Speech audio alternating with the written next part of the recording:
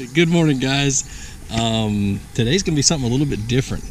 We are, I'm here with Jordan, and we are bank fishing on a little pond down the street, and we are doing a little bit of a challenge. Uh, he insisted that he'd be a part of this challenge, so uh, we're doing the one lure challenge. He's going to give me one lure, I'm going to give him one lure of my choice, his choice, and my choice. And uh, we're gonna go see if we can beat each other's pants off fishing. So we're gonna have a lot of fun. You're gonna win. Nah, no, I'm not.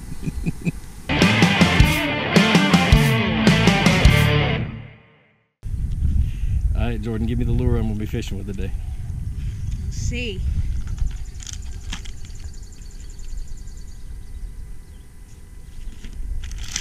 I'm doing the caffeine shads. KVD caffeine shads. Oh, it's a paddle tail swim bait. We ought to be able to have a whole lot of fun with this thing. So hopefully I brought the right stuff to rig it with.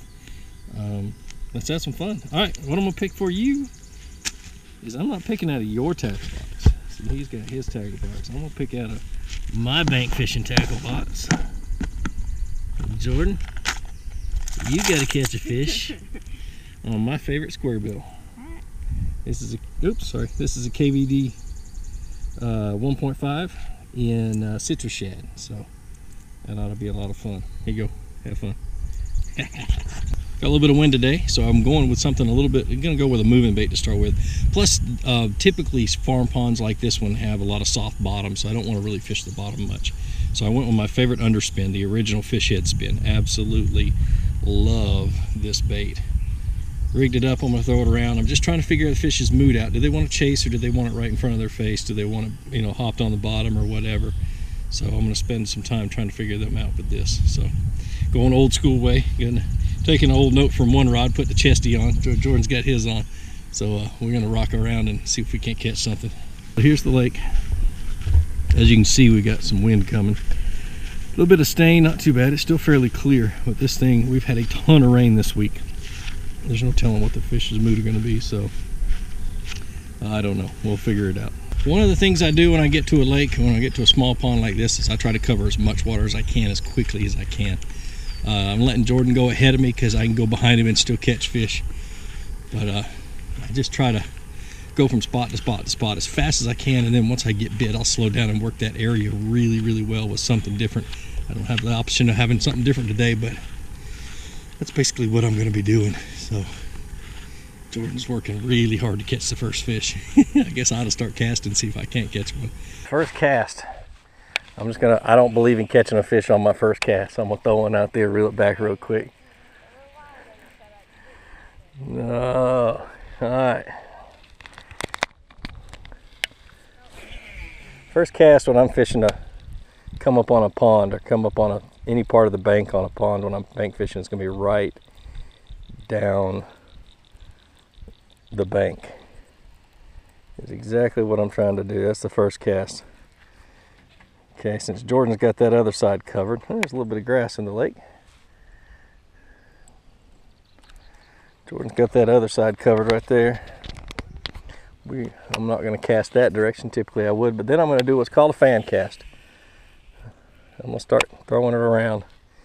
One there, there, there, there, and there. Let it sink to the bottom and then start reeling really slow. Trying to keep it up off the bottom a little bit, but I want to have it as close as I can to the bottom. Ooh, got a spider web in my face. I've got this, it's about a quarter of an ounce um, fish head spin. I've got it on a Muse Black. This is a, uh, a medium action. Uh, no, it's a hit medium heavy moderate action rod. Probably a little bit stiff of a rod for this, but it'll work as long as I remember not to set the hook too hard. Using one of my new Concept E's from 13. Kind of excited about the, being able to use them. That's their higher end reel. I've never had a high, a high end reel in my life, so it's pretty nice to be able to at least try and see what it's all about. All right, I'm gonna talk you through the cast I just made. It's kind of neat what you learn from just a bait that sinks. Uh-oh, good. Except Jordan thinks he got a fish on. Did you catch the first fish, Jordan? Jordan caught the first grass. All right, so I threw out the, right here and I noticed One 1,000, two 1,000, three 1,000, four 1,000, five 1,000. Took five and a half seconds for that bait to hit the bottom. So that's kind of a deep hole compared to what was over on this side. Okay. So I'm saying, all right, there's a deep hole. And then I drag it a little bit and a bit and I'm like, hmm, it's not getting caught in the grass. So there's no grass down that deep. And then I'm reeling it really slow, staying close to the bottom. And then I just hit some grass that's up a little bit shallower. So I'm on the edge of a grass line. A lot of times if I'm throwing a shaky head or something like that, something that's on the bottom, I'll sit there on the edge of that grass line and I'll just shake it. Because those bass will cruise along that grass line. Okay. And then when you get grass hung on your lure, give it a couple of good pops and depending on the type of grass, sometimes it comes off, sometimes it don't use your lure as your depth finder, okay? I'm gonna throw a little bit to the right of that. Let it sink to the bottom. Boy, that felt funny. May just been the slack on my line. Okay, another deep spot, no grass.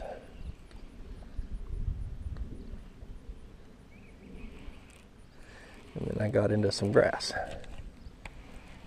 See, I'm learning all I can about what's on the bottom, what kind of stuff, because the bass will stay somewhere close to structure, close to things. Cover, cover is uh, basically things they can hide in. Structure, there's things they can relate to.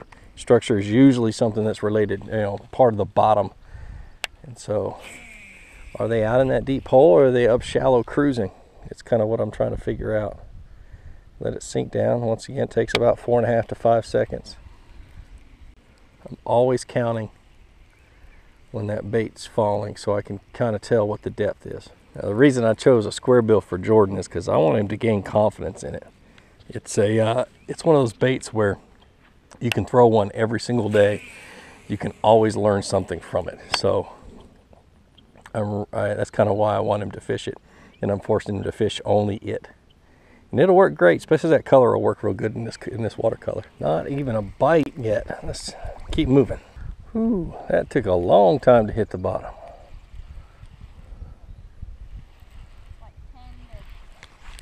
Ooh, I got a bite.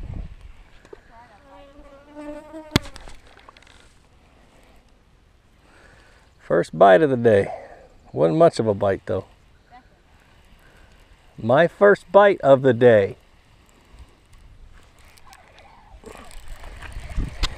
And Daddy catch the first fish. What do you think, Jordan? First dink of the day. hey, you gotta start, gotta start somewhere. All right, Jordan. Do I need to sit down for a little bit, give you a chance? One of my favorite ways to fish a underspin is just like this. I'm just reeling and hopping. So I'm just making it go through the water column like this.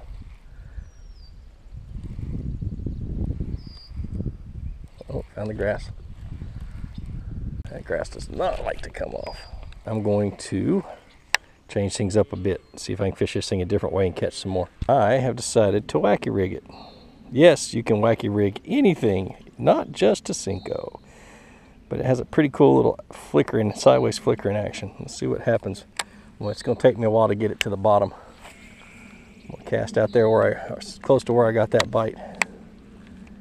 And let that thing work its way all the way as far as I, far as I can stand. Let it sink down to the bottom biggest thing is, is think outside the box.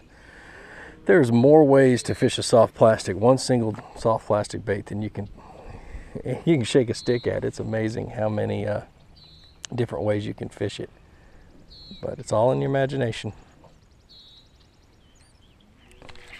Oh, right there at the bank, you see him absolutely destroy that bait. That's the coolest action. I don't know if you guys can see that or not. I like that. Alright, so now I had to go change out SD cards. Hopefully the other one still got the footage I've had the last hour on it, but it is what it is. Um, as I am walking down the bank, I'm always looking shallow. I mean, that's what I can see anyway but I'm looking for any kind of life, any kind of bait fish. And as I walk along the bank, I don't see much of anything. Everything I see is out away from the bank quite a bit. So I'm not going to do a whole lot of more focusing on the bank. I'm going to focus on the deeper parts of this pond. See if I can't catch another fish on them. I think Jordan's getting a little frustrated. Change speeds, slow down, speed up, change stuff. See if they want it really slow. I know you do. This is the one bait challenge. Anybody want to know why I don't like fishing a Senko or any kind of wacky rig? Because I'm sitting here waiting for this thing to hit the bottom for like a hundred minutes. I just don't like it.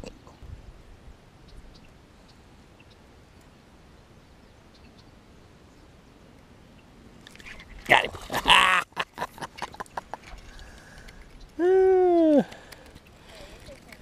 Fish number two caught it on a wacky rig. All right, another little dinky one. That's fish number two. All right, so I changed back to the fish head for a little bit. All right, another thing, if you don't know what the bottom composition of a pond is, is you just get something that goes down to the bottom and just feel. If, if you're dragging it on the bottom like I am right now, I've got this fish head spin, I'm dragging it on the bottom, and it doesn't feel like it's dragging along anything, or when it gets hung up on something, it just feels like you just pulled it through some, some pudding, you've got a soft bottom. Um, if you feel like it's, it's you know, dragging across to tunk, tunk, tunk, tunk, or it's just getting caught a lot, it's more than likely going to be rock and or going to be some type of a hard bottom.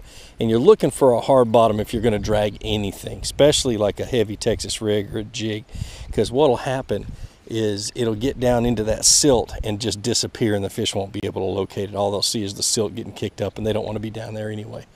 So typically on a small pond, I'm, I'm going with moving baits or a drop shot or something I can fish on top of or above the silt a few more bluegill, little baby bluegill on the bank on this side of the lake. That's interesting.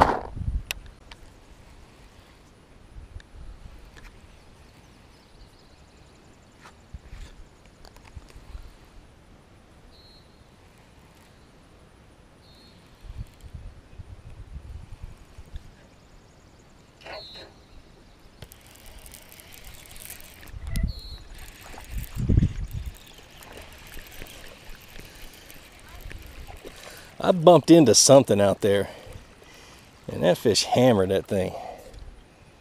It's a little bit better fish. If you'd have hit this the spot I hit with a square bill, you'd have caught this fish too.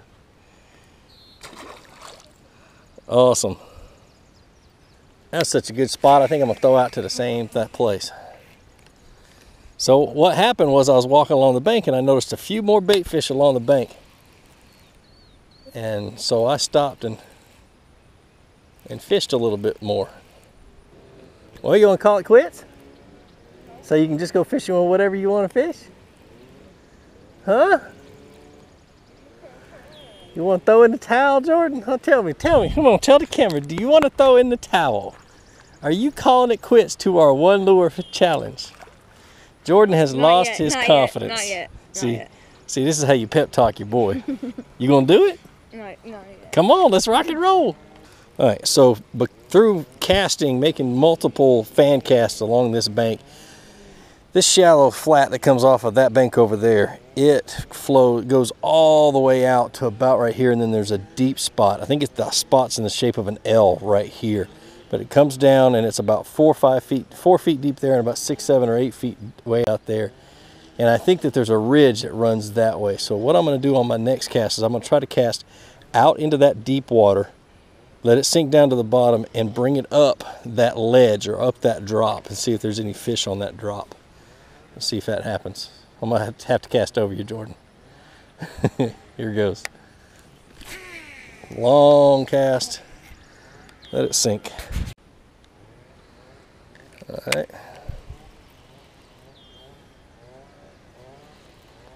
I'm just gonna slowly bring it up that drop.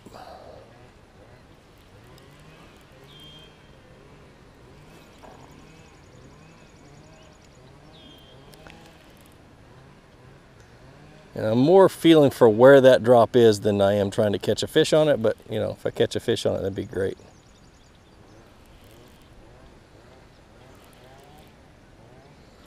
But this is how you break down, there's that drop right there, okay.